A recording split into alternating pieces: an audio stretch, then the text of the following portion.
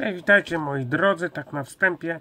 Chciałem się tylko przywitać i od razu pokazać wam wyniki, bo ogólnie reszta rozpakowania będzie, że tak powiem, nie ma. e, Bez głosu, dlatego że źle mi się to nagrało, a nie chcę mi się dwa razy tego dogrywać. Mówię szczerze, nie mam na to czasu, więc tak, pokażę wam wyniki wydajności tego dysku konkretnego, którego za chwilkę zobaczycie, rozpakowanie jego. To jest Oczywiście mam podpiętego po, po, go pod SATA trójkę. Nowe przewody również kupiłem do niego, żeby po prostu go tak podczepić od razu. A czy inaczej, miałem już pod SATA trójkę podpięty, tylko że nie pod... Miałem jeszcze starsze przewody, a mówię nowy dysk to zakupię.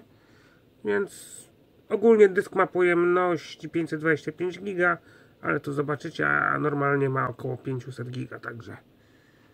A tu Wam pokażę mój dysk, który obecnie używam na system. Macie porównanie 487 do 482, a tu jest 434 do 384. Tak. Macie porównanie. Vertex 4 mam już.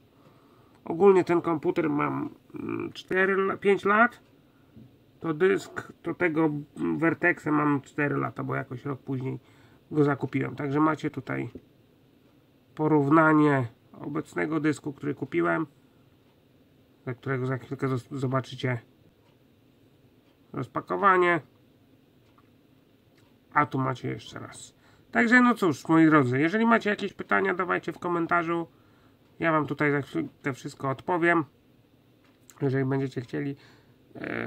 No i cóż, trzymajcie się do następnego, a ja już lecę montować to składanie. Także do następnego, hej.